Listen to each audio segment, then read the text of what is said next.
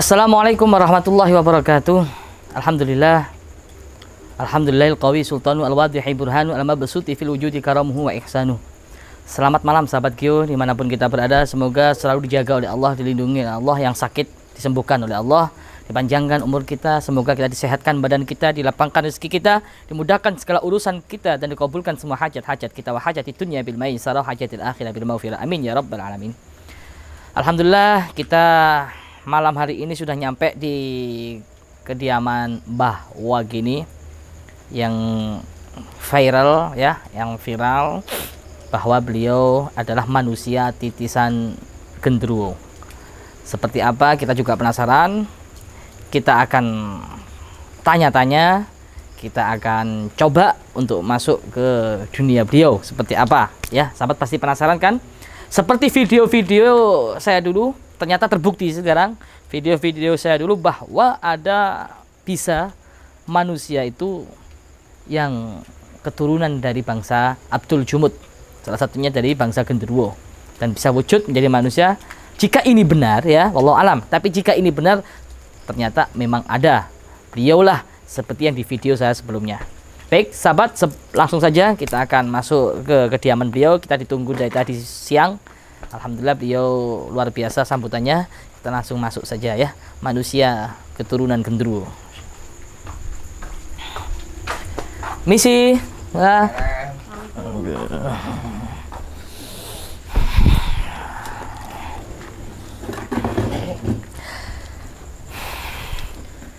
Alhamdulillah sahabat kita sudah berada di kediaman beliau Mbah Wagini.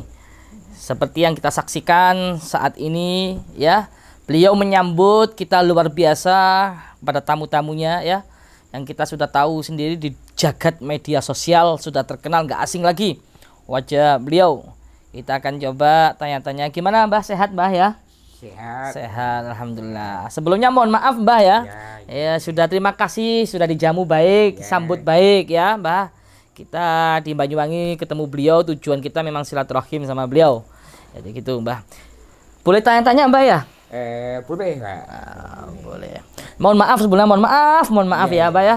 Ini yang diberitakan di media-media itu katanya Mbah, mohon maaf sebelumnya, Mbah ya. Ya, Mbah itu salah satu keturu- keturunan ya iya, iya. dari genderuwo. Itu bisa diceritakan gimana kronologinya, Mbah? Eh, gini Pak. Eh, kalau ceritanya itu. Iya, eh, iya. Dulu.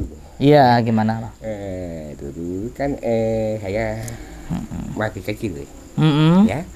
Saya kan ikut nenek Oh ya. iya. Eh, pertama ikut nenek. Eh, saya kan main-main sama eh, teman-teman. Ya. Mm-mm. katanya anak kedua anak kedua hmm. ya eh saya tapi saya belum yakin belum percaya apa ya kan Eh, main-main lagi ya kayak itu teman-teman Mm-mm. Ya, Mm-mm. tapi saya kan belum tahu belum yakin Mm-mm. eh habis main-main Mm-mm. pulang itu terus tanya nenek nek eh sebenarnya eh bapak saya itu aslinya siapa Mm-mm. ya bapak kamu aslinya ibu tuh aku tapi saya belum percaya ya Itu belum saya belum yakin Mm-mm. apa ya eh, ya terus lama-lama kok bilang gitu terus Mm. orang-orang ya Mm-mm. ya akhirnya saya kepingin Mm-mm. tahu Mm-mm. aslinya bapak saya Mm-mm. bener apa enggak gitu. Terus? saya dibilang nenek eh, kamu kalau pengen tahu Mm. eh, kamu eh, itu harus ritual itu meditasi ritual Mediasi. ya, tapi ya, ketemu eh, saya langsung dingin ritual ya, gitu Hmm. Seperti itu saya saya kok aneh. benar datang Hmm. tapi itu gak pernah ngomong hmm. dan Ternyata benar ya. ya Ternyata benar. nah, setelah itu ritual. lama-lama saya panggil datang saya datang tapi hurufnya panjang Hmm. panjang semua setiap dipanggil pasti datang. iya matanya kan ya habis itu lama-lama saya dibilangi dan saya kamu kalau sering ketemu nanti yo itu harus pakai bunga minyak Ritual. ya Iya, iya. itu ya ibaratnya kayak manusia Bu. Barang kayak gitu. Yo pengen minum pengen makan. Iya gitu. Biasanya itu ketemu terus pak. Hmm. ya lama-lama saya minta ya saya bilang minta tolong tapi gak pernah ngomong. Itu ya ada orang kan ke sini ya saya- saya minta bantuan lah. Hmm. gitu ya bukan orang gitu ya menurut saya kayak bisa sembuh eh, gitu Nanti bisa diajak saya ke belakang ya. ya kalau ini kayak eh, bisa lah ya ya biasanya eh, ketemu baik lama ini gak ketemu Insya Allah. gitu lama Iya, gitu. iya. Insya Allah sahabat nanti kita akan diajak untuk menjumpai ya seperti apa caranya beliau untuk menjumpai bapaknya. Pasti penasaran kan? Karena belum ada youtuber-youtuber yang diajak untuk langsung menemui bapaknya dan kita kali ini akan mencoba ajak beliau untuk menemui bapaknya. Terus mohon maaf Pak, boleh nyentuh ya? Boleh Mbak ya? boleh, Wah ini ini sudah dari lahir memang begini Mbak. ini mulai lahir ya Lihat kamera. ya kayak ini Mbak. Hmm.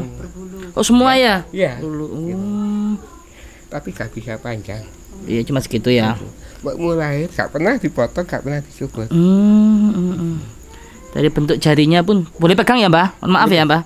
Dari pegang jarinya pun lebih besar, sahabat ya. Wah. Ya sudah ada ciri-ciri kita indikasi ya. Situ dari bentuk fisiknya saja sudah ada indikasi ke situ. Beliau bulu-bulunya masya Allah ya. Ya. Terus eh, baik pemirsa kita akan minta tolong sama Mbah Wagini untuk diajak ke suatu tempat ya. Yang mana biasanya Mbah Wagini itu memanggil sosok bapaknya. Seperti itu. Ki- naik mobil Mbah? Ya bisa. Oh, iya. liwat liwat ya langsung arah Purwo. Jalan arah Purwo. Eh, sini ya, kan ada PHPA ya pak? Oh gitu. Ya Iya, iya, kayak iya. Tidak mengganggu Mbak ya. ya Tidak mengganggu ya. ya Mau mengantarkan kita untuk berjumpa dengan Iya, orang iya. tua Bapak Mbak. bawa peda ya bisa sama itu Enggak, kita naik mobil aja, Mbah. Naik Iya, mobil iya, kita aja. iya. Ayo. Ya. Tapi itu mau. Baik, bisa kita jarang-jarang nih mau diantar ke Alas Purwo sama beliau.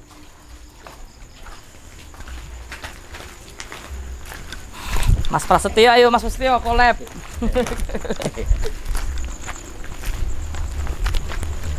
Mari Mbak di depan, Mbak. Mbak. Ya di depan, Mbak. Monggo, Mbak. Silakan, Mbak.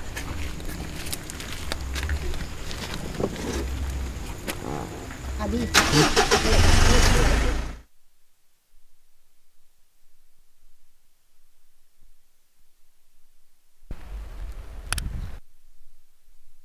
Baik sahabat, kita berjalan di Alas Purwo ini sahabat.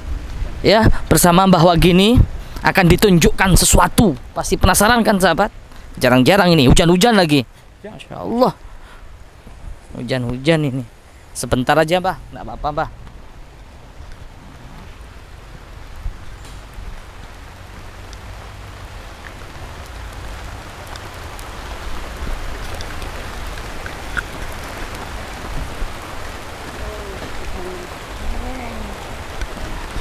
Beliau ritual sahabat untuk memanggil abahnya, memanggil ayahnya, memanggil bapaknya.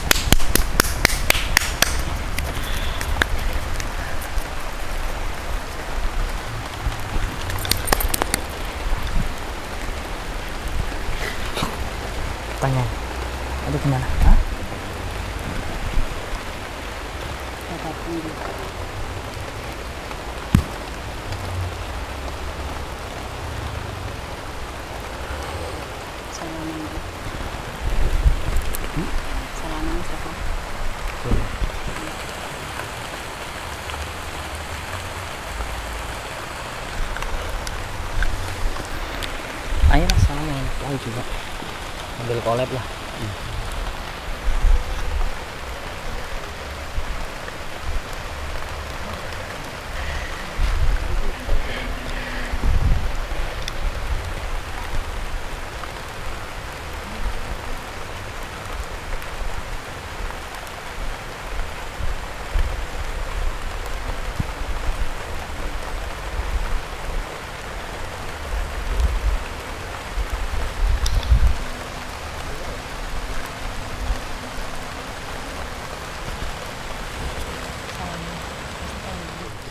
Ya. Baik sahabat, ini sudah beliau sudah datang memanggil ayahnya. Seperti yang kita lihat bersama, saksikan bersama, ternyata memang benar, real ya. Jelas beliau ini keturunan dari makhluk Abdul Jumud, itu genderuwo. Sudah datang. Posisi bapak bapak dari Mbak gini di posisinya di mana sekarang? Di- Boleh ditunjukkan sama Gus Idris. Nah, ini ya, ya. Sana, ya. Pindah dua tempat. Ya. Oh ya. Beliau menunjukkan dua tempat sahabat, yaitu di sana, Eh, sana, ya. di sana ya. Di sini sahabat. Posisi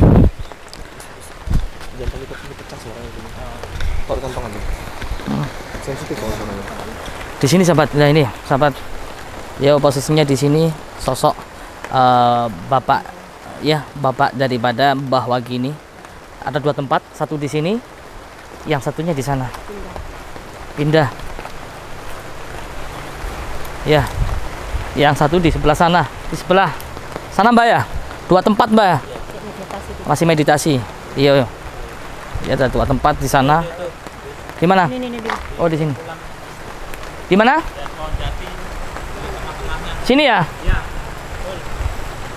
Jadi di sini sahabat sosok genderuwo ya, Mbah ayah daripada Mbah Wagini di sini. Ya? Iya betul, mirip sekali sama beliau. Depan agak hitam ya, gini duduk begini. Tapi tetap nggak mau ngomong ya ya. Ya nggak mau ngomong, cuma diam. Di sini posisinya sahabat. Sini. Ini posisinya. Seperti yang diinformasikan beliau tadi kan nggak mau ngomong selama ini ya Bu. Uh-uh. Masih tetap walaupun dipanggil. Mirip sampai wajahnya mirip. Ban hitam semua. Bedanya di situ. Baik, sahabat kita akan langsung tanya sama Mbak Wagini langsung.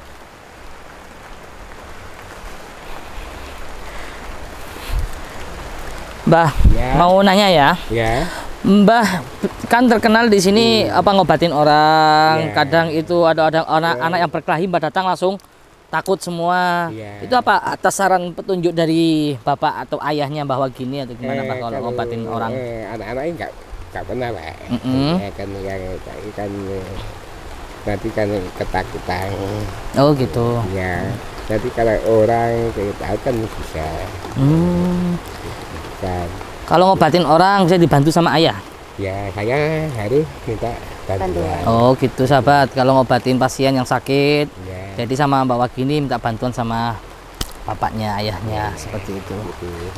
Sudah jelas sahabat ya, kita langsung pembuktian langsung sama Mbak Wagini langsung di alas di sini tempatnya ya. Ini ritual bio juga ritual dan sudah kita deteksi bersama. Jadi cukup sekian kita akan ngobrol-ngobrol di rumahnya Mbak Wagini karena hujan iya di sini ya. Oh iya, ada pertanyaan silakan. Ada pertanyaan nih Mbak. Ya, Saya ya, lihat eh, Bapak Mbah ini nggak marah. Oh, wajahnya nggak Ya, marah ya. Kayaknya ya, sosoknya ya. baik ya Mbak ya. Baik. Ya. Jadi walaupun dipanggil dengan kedatangan kami, beliau tidak ada respon kemarahan sedikit pun. Itu betul ya Mbak ya? nggak ada pak Oh, Sambutannya baik ya. Ya, Ya karena kita nggak- juga nggak ada tujuan Eh, apa-apa. ini kan orang orang kan sudah tahu semua kenapa marah Jadi diperbolehkan ya kita ke Ya. sini juga bahkan Mbah mengantarkan di mana Ya. tempat untuk cara memanggil orang tuanya Mbah gitu. Hmm, Iya, saya lihat dari raut wajahnya, sambutannya juga baik, tapi memang tidak mau ngomong. Iya, iya. Seperti itu ya, Mbak ya? Iya, iya.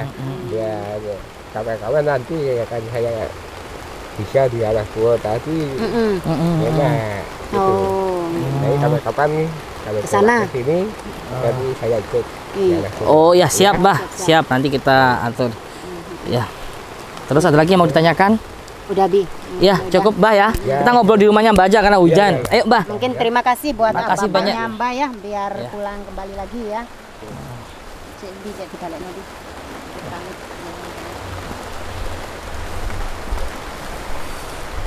Pamit sih, Andi. Beliau pamit sahabat sama orang tuanya. Dari interaksi sama ayahnya. Udah, nggih. Ayo sahabat.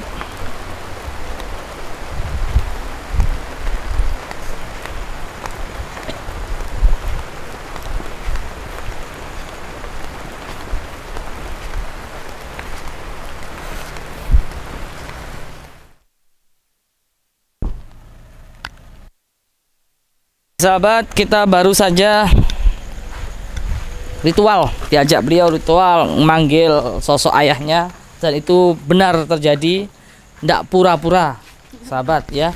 Benar-benar terjadi tidak pura-pura seperti yang kita saksikan. Beliau ngajak ke alas purwo cuman waktunya kita mepet terus hujan jadi cuma ritual sebentar ya. Cuma ritual sebentar kita manggil sebentar. Ternyata memang benar sosok ayahnya beliau sosok hitam ya dulu luar biasa. Kita doakan semoga Mbah Wagini panjang umur ya. Mbah Wagini sehat terus ya bisa bermanfaat untuk masyarakat sekitar ya untuk ngobatin pasien-pasien yang sakit gitu ya. Eh, Mbah Wagini usia berapa Mbah? Umurnya 48 ya. Oh, 48 usianya sudah usia 48 Terima kasih banyak ya Mbak Ya, Wagini. sama-sama. Kami mohon pamit ke Malang Ya. Insya Allah nanti ketemu lagi ke sini Ya, diantar jalan-jalan ke Alas Purwo Ya, Ya. hati ya. Ya, makasih Mbah Wagini ya. Sampai ketemu. Ya. Terima kasih Mbak ya. Terima kasih. Selamat, ya, selamat dari selamat. Amin, amin, amin, amin. Amin, amin, amin, amin. Amin, amin ya. Terima kasih juga udah Ya. dijumpakan sama Bapak Ya. jenengan ya. Ya. Semoga ini menjadi jalinan silaturahim yang baik. Mbah ya. Terima kasih. Ya, sama. Ya. Terima kasih juga kami sampaikan kepada sahabat-sahabat yang telah membantu pertemuan kita dengan Mbah Wagini, Mas Hafid dan juga Mas Prasetyo. Ya, semoga kita tetap terjalin silaturahim. Mungkin itu saja yang dapat kami sampaikan. Mohon maaf apabila ada kurang lebihnya, ambil sisi positifnya, buang yang buruknya. Ya. Waalaikumsalam warahmatullahi wabarakatuh.